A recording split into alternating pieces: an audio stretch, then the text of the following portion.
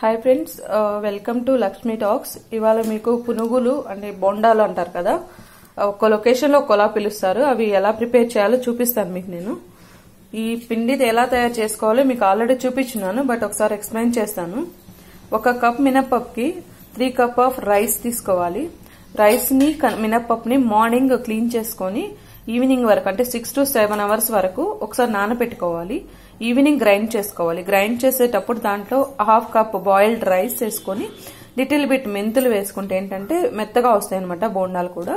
అవి one night అంటే పిండి మెత్తగా గ్రైండ్ చేసిన తర్వాత వన్ నైట్ అనేది మీరు నానపెట్టుకోవాలి నానపెట్టుకున్న తర్వాత మార్నింగ్ ఇలా పిండిని అండ్ దాంట్లో పాటు కొంచెం ఆనియన్స్ కట్ చేసుకోండి టేస్ట్ కోసం.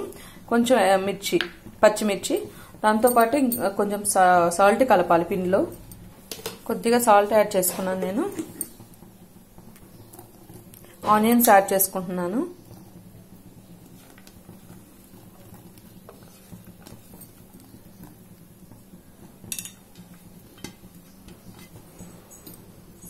ఆనియన్స్తో పాటు కొంచెం మిర్చి ఏవైతే కట్ చేసుకున్నానో ఆ మిర్చి కూడా యాడ్ చేసుకున్నాను.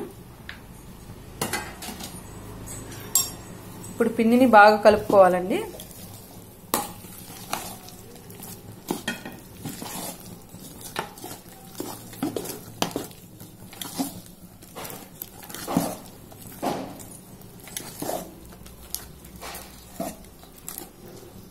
సో నైట్ అంతా నానబెట్టుకున్నాను నేను పిండిని. సో చాలా మెత్తగా ఉంది చూడండి. ఇప్పుడు నేను బోండాలు వేసిన తర్వాత కూడా క్రిస్పీ క్రిస్పీగా వస్తాయి అవి. చూసారు కదా? ఇప్పుడు నేను ఆయిల్ పెట్టుకున్నాను. ఆల్రెడీ గ్యాస్ వెలిగించేసుకొని ఉన్నాను. సో కొద్దిగా ఆయిల్ వేసేసి బాండీలో ఆయిల్ పెట్టుకున్నాను దాంట్లో. ఆయిల్ బాగా మరిగింది.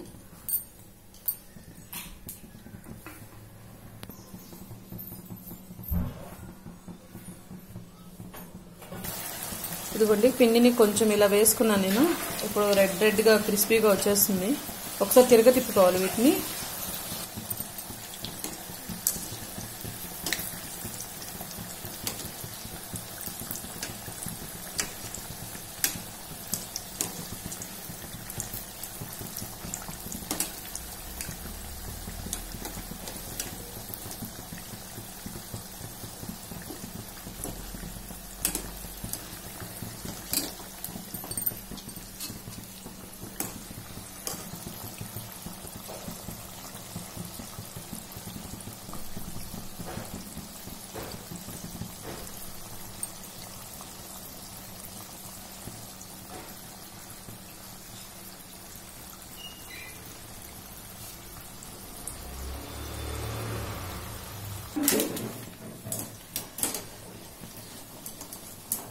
ఇప్పుడు బాగా క్రిస్పీ క్రిస్పీకి వచ్చాయి కాబట్టి నేను ఇంకా తీసేస్తున్నాను.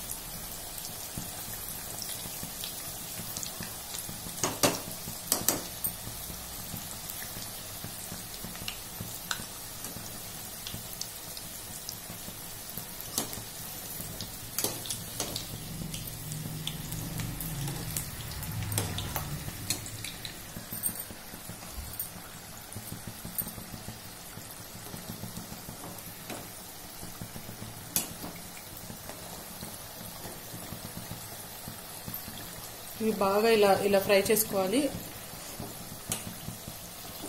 సో అప్పుడు క్రిస్పీ క్రిస్పీగా ఉంటాయి తినడానికి కూడా కరకరలాడుతుంటాయి అనమాట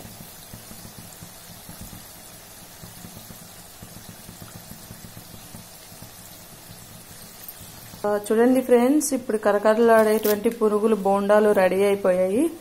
దానికి పల్లీల చట్నీ నిన్న మీకు ఎలా ప్రిపేర్ చేసుకోవాలో చూపించాను కదా పల్లీల చట్నీ. పల్లీల చట్నీతో పాటు టమోటా చట్నీ. చాలా టేస్టీ ఉంటుందండి. పల్లీల చట్నీతో పాటు టమాటో చట్నీ పునుగులకి అంటే బోండాలకి. ఇవి తయారు చేసుకునే విధానం మళ్ళీ ఒకసారి చెప్తాను మీకు. ఒక కప్పు మినపప్పు తీసుకోండి. త్రీ కప్స్ ఆఫ్ రైస్ తీసుకోండి. అంటే బియ్యం. ఒక కప్పు మినపప్పుకి మూడు కప్పులు బియ్యం తీసుకోండి. బియ్యంతో పాటు కొంచెం మెంతులు వేసుకోండి. ఉండి లేనట్టుగా నాలుగు గింజలు వేసుకోండి. ఎక్కువ వద్దు చేదైపోతుంది అవి మార్నింగ్ నానపెట్టుకోండి. మార్నింగ్ నుంచి ఈవినింగ్ వరకు అంటే సిక్స్ టు సెవెన్ అవర్స్ నానపెట్టుకోండి వాటర్లో. అవి నానబెట్టిన తర్వాత ఈవినింగ్ గ్రైండ్ చేసేసుకోండి. గ్రైండ్ చేసేసుకునేటప్పుడు ఒక కప్ ఆఫ్ హాఫ్ కప్ కానీ ఒక కప్ కానీ రైస్ వేసుకోండి. ఎందుకంటే రైస్ కొంచెం వేసుకుంటే ఏమవుతుందంటే రైస్ ఒకవేళ మీకు రైస్ వద్దు ఇష్టం లేదనుకుంటే అటుకులైనా నానబెట్టుకొని వేసేసుకోండి. దానివల్ల ఏమవుతుందంటే మీకు చాలా మెత్తగా దోశలు కానీ బోండాలు కానీ చాలా మెత్తగా టేస్టీ టేస్టీ వస్తాయన్నమాట. సో అలా గ్రైండ్ చేసుకున్న పిండిని ఒక నైట్ అంతా నానపెట్టేసేయండి. నానపెట్టిన తర్వాత మార్నింగ్ మీరు బోండాలు చేసుకునేటప్పుడు బోండాలకి ఏంటి అంటే పిండి గట్టిగా ఉండాలండి కొంచెం. అదే దోశలు అయితే కనుక మనం కొంచెం వాటర్ పోసేసుకొని దాంట్లో కొద్దిగా పలుచగా చేసుకుంటాం కదా. బొండాలు కొంచెం గట్టిగా ఉండాలి. ఒకవేళ మీకు పిండి పలచగా అయింది అనిపిస్తే దాంట్లో కొద్దిగా బియ్య పిండి కలుపుకోండి. సో అప్పుడు ఏమవుతుందంటే గట్టిగా వస్తుంది పిండి మీరు బోండాలు వేయడానికి బాగుంటుంది. సో మార్నింగ్ ప్రిపేర్ చేసుకున్న పిండిలో కొంచెం ఆనియన్స్ టేస్ట్కి తగినంత సాల్ట్ అండ్ uh, ఒక వన్ ఆర్ టూ మిర్చి వేసుకోండి పచ్చిమిర్చి. టేస్ట్కి బాగుంటుంది అట్లా. మనం తినేటప్పుడు సాల్ట్ మిర్చి ఆనియన్ కలిస్తే కనుక చాలా టేస్ట్ ఉంటుంది నములుతుంటే. అండ్ దాంట్లో కొద్దిగా ఒక చిటికేడు సోడా ఉప్పు వేసుకోండి. అంటే వంట సోడా అంటారు కదా అది వేసుకోండి. సో మీకు వేసినప్పుడు ఇలా క్రిస్పీ క్రిస్పీగా రెడ్డిష్గా చాలా uh, ఇష్టంగా తింటారు పిల్లలు కానీ పెద్దవాళ్ళు కానీ ఇది దానికి కాంబినేషన్గా చట్నీ పల్లీల chutney. And tomato chutney. Tomato chutney ఎలా చేయాలో తర్వాత వీడియోలో చూపిస్తాను నేను మీకు. ఈ రెండు కాంబినేషన్ అయితే చాలా బాగుంటుంది. థ్యాంక్ యూ ఫ్రెండ్స్ మా వీడియో మీకు నచ్చినట్లయితే లైక్ చేయండి షేర్ చేయండి సబ్స్క్రైబ్ చేయండి. ఒకవేళ మీరు ఏమైనా కామెంట్ కానీ సజెషన్స్ కానీ ఇవ్వాలి అనుకుంటే కామెంట్ బాక్స్లో ఇవ్వండి. Thank you so much